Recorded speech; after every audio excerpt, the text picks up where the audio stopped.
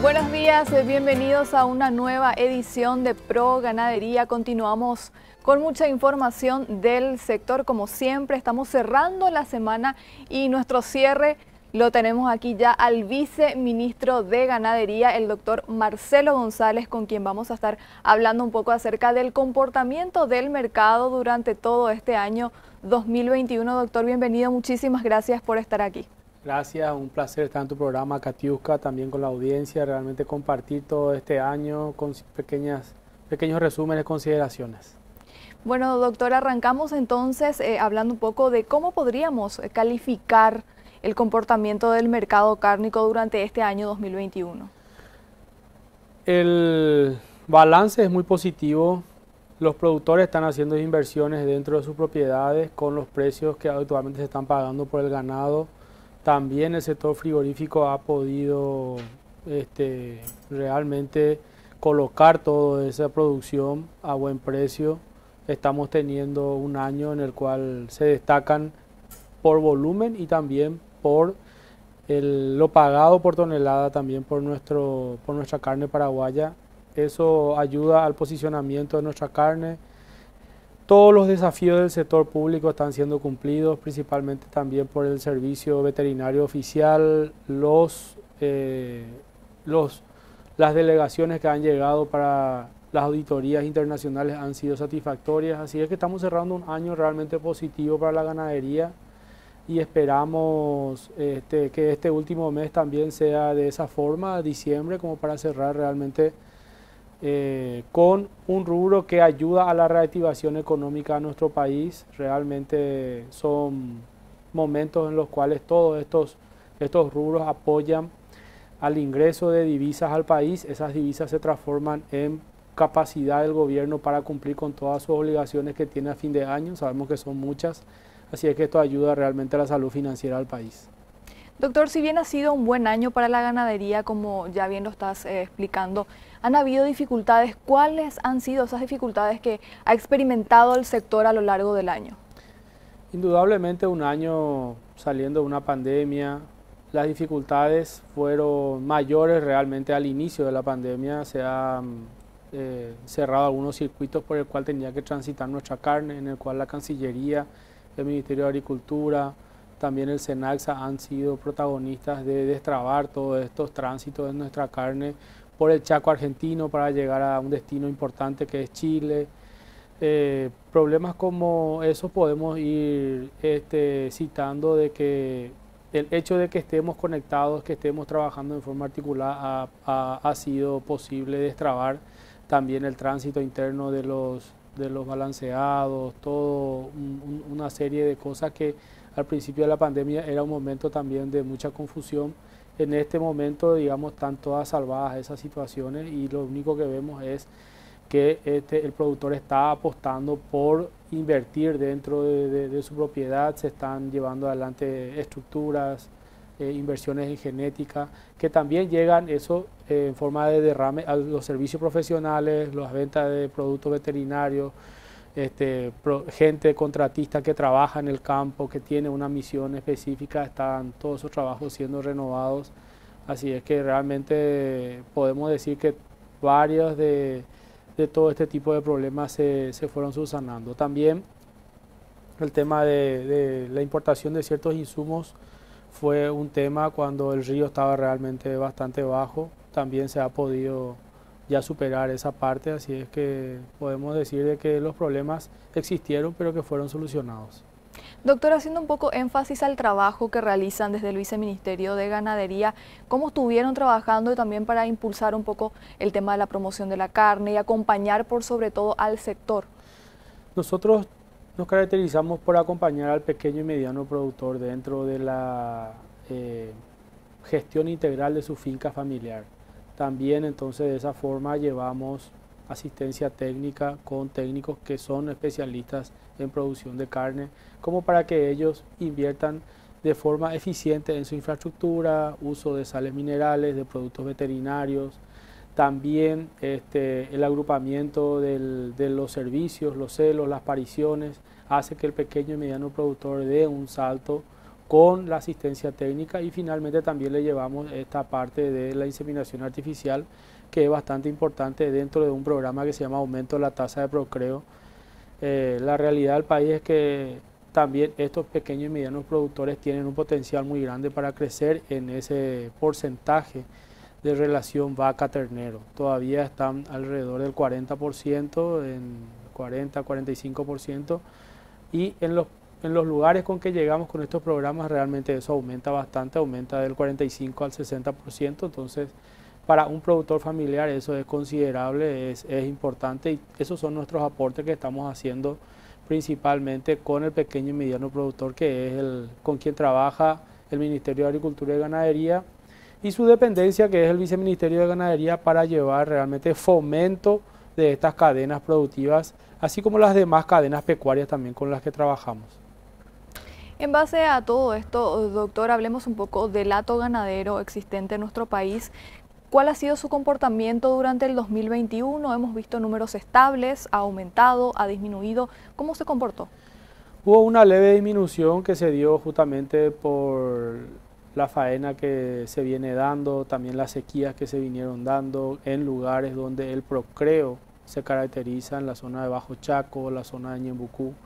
Todas esas son zonas que hace dos años han tenido fuertes sequías, inclusive áreas muy grandes de quemazones. Recordamos en el Bajo Chaco tuvimos más de 300.000 hectáreas que fueron consumidas, digamos, por fuegos eh, muy grandes que consumieron los pastizales en una época de, de, servicio en que las vacas estaban siendo cubiertas por los toros. Entonces todo eso eh, eh, afectó y se va viendo las cosas en ganadería a mediano plazo.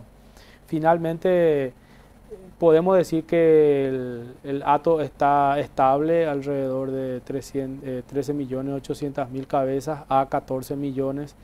Prontamente en enero se inicia un nuevo ciclo de vacunación antiastosa en el cual se cierran otra vez números nacionales y ahí podemos ver que eh, el hato va en, eh, se, va manteniendo constante, aunque también la demanda eh, está, está empujando una faena bastante importante. Actualmente, ¿en qué punto del país se registra mayor cantidad de cabezas de ganado? Nosotros eh, estamos viendo que eh, si separamos la región oriental de la región occidental, en la región occidental vino creciendo, si miramos datos de hace 10 eh, años atrás, 10, 15 años atrás, veíamos con 20, 21% el, el porcentaje de, del hato ganadero en el Chaco paraguayo. Hoy ese número va aumentando y hoy la ganadería tiene sus 45, 46% ya de nivel de, de ganadero en el Chaco. El resto se encuentra dentro de la región oriental en lugares donde eh, prevalecen las praderas y también en lugares donde ya se hacen eh, trabajos de, intensificación también de la ganadería que va asociada a la agricultura, que es una política de gobierno también que estamos buscando integrar toda esa fuerza de producción de granos, convertirla en carne de calidad, ya sea carne bovina, carne de cerdo, carne aviar, que son las carnes que son exportables hoy eh, también leche que también ya entra dentro del, paquete exportador, convertir en esas proteínas de valor y salir al mundo con una marca paraguaya, una marca país, un, producto de calidad. Entonces, eh, podemos decir que esa es la composición que hoy tiene la ganadería nacional. Eh, no obstante, nombrando de que el Chaco tiene aún un gran potencial de crecimiento, tiene todo un plan de desarrollo sostenible en el cual se van a poder ir este, sosteniendo estos niveles de producción eh, tanto en la parte de ganadería y en la parte de agricultura que también está dando un salto en, el Chaco. Podemos decir que eh, desde el año pasado a este año, desde de unas 70 mil hectáreas de, de cultivos para grano, hoy estamos alrededor de 140 mil, llegando con una expectativa de 150 mil hectáreas entonces eso realmente indica que la tecnología está mirando al Chaco, se está adecuando al, clima del Chaco y eso indudablemente va a crear que la ganadería sea más competitiva a la hora de utilizar las praderas y también incursionar granos dentro de lo que es la nutrición del animal. Doctor, justamente mencionabas el trabajo que ustedes eh, realizan como viceministerio acompañando a la producción nacional. ¿Cuáles son los pedidos que más escuchan por parte de los productores actualmente? Actualmente el productor pide eh, en distintas facetas piden cosas diferentes. El pequeño y mediano productor pide asistencia técnica especializada, técnicos que se comprometan con ello, que estén constantemente visitándoles cada mes o cada dos meses, eh, llevando registros, mostrándole de manera eficiente cómo se tienen que hacer las cosas. Estamos llegando a lugares recónditos donde el gobierno no llegaba. Este gobierno está llegando en la zona del Chaco a Puerto Casado, Fuerte Olimpo, la zona de Pirizal en el Chaco, son lugares muy alejados donde hay comunidades de pequeños productores paraguayos que están incursionando ya hace tiempo en la ganadería, pero con nuestra asistencia están llevando ciertas tecnologías. Entonces, esa asistencia técnica con ciertas inversiones que puede hacer el ministerio es lo que ese nivel de productor está pidiendo. El productor ya más empresarial pide eh, principalmente al ministerio eh, una, eh, que se mantengan las reglas claras de inversiones en la propiedad, seguridad. muchos de ellos también piden como es de público conocimiento el tema de este, la seguridad de la propiedad privada.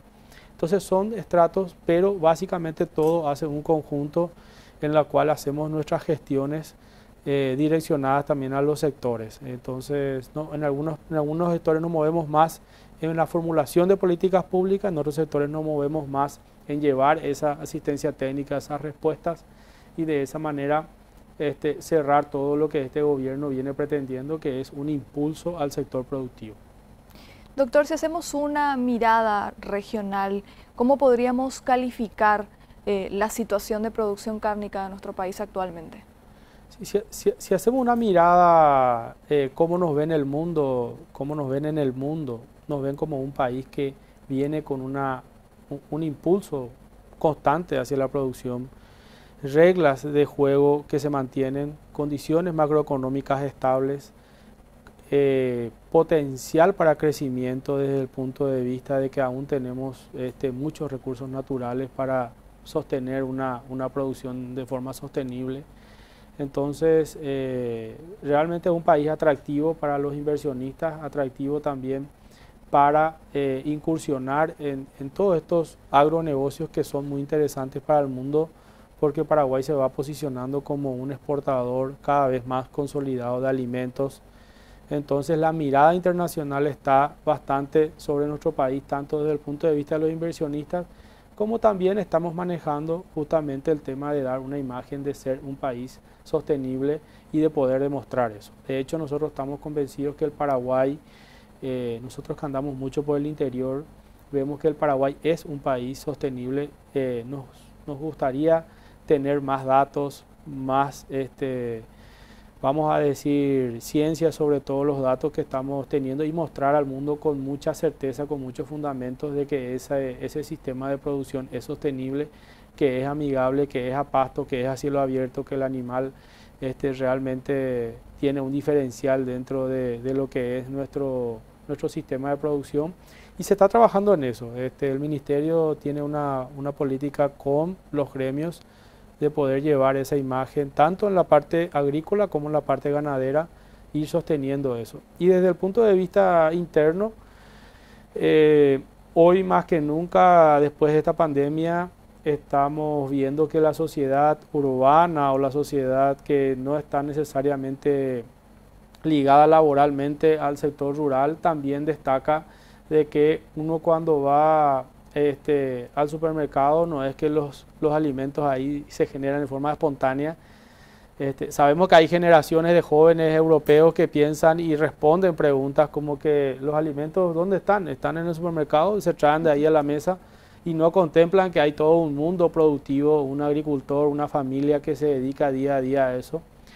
Eh, eso se ha logrado visualizar, estamos haciendo el esfuerzo, agradecemos también el acompañamiento de ustedes para que se conozcan las labores diarias de los productores y como autoridades del gobierno también estamos haciendo nuestro esfuerzo para que eso se visualice y que se le valore al, productor como un ciudadano realmente este, que tiene un compromiso, una responsabilidad de alimentar a toda una nación. Eh, es un tema no menor el hecho de que durante una pandemia en la cual se cerraron todas las fronteras, el Paraguay no ha tenido déficit de ningún tipo prácticamente de productos en sus góndolas, tanto en la parte de carne, leche, este, huevos, eh, productos hortícolas. Entonces eso es de gran valor este, y realmente ahí se vio que el Paraguay este, trabaja en lo que es esa parte de seguridad alimentaria también para su pueblo. ¿Cuántos mercados ya lleva conquistados, conquistando Paraguay? Nosotros en el, en el sector del, de la carne tenemos mercados abiertos, eh, vamos a decir, una proporción mayor a la que eh, efectivamente se usa. Eso, cuando se abre un mercado, es el gobierno el, el, que con el gobierno este, con cual se conquista ese mercado se logra una, un, un canal por el cual la parte privada paraguaya como la parte privada de afuera pueden hacer negocios sin ninguna ya eh, traba sanitaria en este caso. Entonces, eh, ese tipo de mercados tenemos alrededor de 80 mercados este, activos, abiertos, eh, de los cuales aproximadamente 40, 42, 43 son los que utilizan el sector privado como para comercializar. Esto es una dinámica de ir eligiendo qué mercado este está siendo más atractivo, más fácil de la parte logística, la parte de precios. No obstante, también hay que entender que eh, la carne eh, es un producto que al tener varios cortes ya no es un commodity como, como, se, lo, como, se, lo, como se lo posiciona, sino que son mercados que utilizan tal corte, utilizan eh, tal parte del animal y todo eso se va distribuyendo, se, desmembrana como piezas. Y tenemos también empresas paraguayas que utilizan este, ciertas partes del animal, se utiliza el ojo, el pelo, los cartílagos, los tendones, todo para hacer juguetes para perros, todo por industrias ya paraguayas, inversiones paraguayas, entonces no hay parte del animal que se desaproveche y eso es un valor agregado del de la cadena de la carne que ha logrado tener industrias muy competitivas este, que finalmente aprovechen desde el cuero hasta como he nombrado cada parte del animal que es posible utilizar. Entonces, el, eh, en realidad son aproximadamente en el mundo 150 países que compran carne, que importan carne para su país, para sus mercados. Y eh, la política de Paraguay es ir apuntando a los mejores mercados. Los mejores mercados significa que compran carne de calidad, compran carne refrigerada y no obstante también hay que tener mercado para el resto de la canal, el resto del animal que tiene que ir tal vez a un mercado que lleve toda esa, esa parte que ya no califica como una carne premium, pero es importante a la hora de, de utilizar también en la parte industrial en los países de destino. Sin duda, doctor, nosotros estamos también muy expectantes a lo que va a ser el mercado de Estados Unidos. ¿Qué significaría ingresar a ese mercado para nuestro país? Nosotros sostenemos que el mercado de Estados Unidos es un mercado que nos va a dar a nosotros un fuerte impulso desde el punto de vista de lo que es el manejo industrial, la parte de residuos de nuestro alimento, la credibilidad que tenemos nosotros como este, instituciones públicas. Principalmente hemos demostrado que como gestión pública estamos trabajando de forma integrada y estamos respondiendo a toda esta parte que es un gran desafío de ser instituciones creíbles ante instituciones internacionales. Realmente ese es un, un punto muy importante y como país ser un país reconocido por, por uno de los líderes mundiales que es Estados Unidos, realmente es algo no menor y es algo destacable del cual todos los paraguayos estamos orgullosos. Doctor, para ir cerrando ya este bloque contigo, me gustaría saber a qué apunta Paraguay para el año 2022, cuáles son las proyecciones que tenemos. Nosotros tenemos interés de que todo este auge se venga manteniendo. Eh, sabemos que este es un año récord de ingreso de divisas un año en el cual estamos sobrepasando todos los mejores años como han sido en su momento el 2014, el 2017, años récords tanto en volumen como en, divisas de ingreso. Este año tenemos eh, cerrando un año muy importante. El desafío es mantener esta, este auge, este auge positivo. Realmente el 2022 viene también con desafíos que nos sorprenda también este, a mediados de año la habilitación justamente ya definitiva y que nuestra carne pueda ya estar siendo comercializada al mercado americano sería un, objetivo muy importante. Seguir con los avances en los, en los demás mercados también del primer mundo. Eh, eso serían para nosotros el, objetivo y eh, trabajar.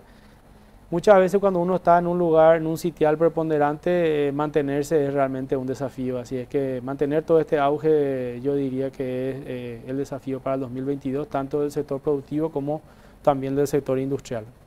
Doctor, muchísimas gracias por toda esta información, gracias por darnos este pantallazo de lo que ha sido el 2021 y también de lo que puede llegar a suceder en el próximo año.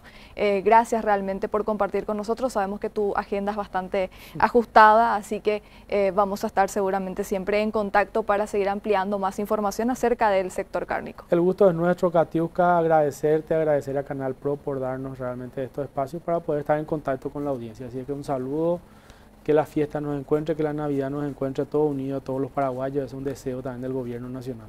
Gracias, doctor, igualmente.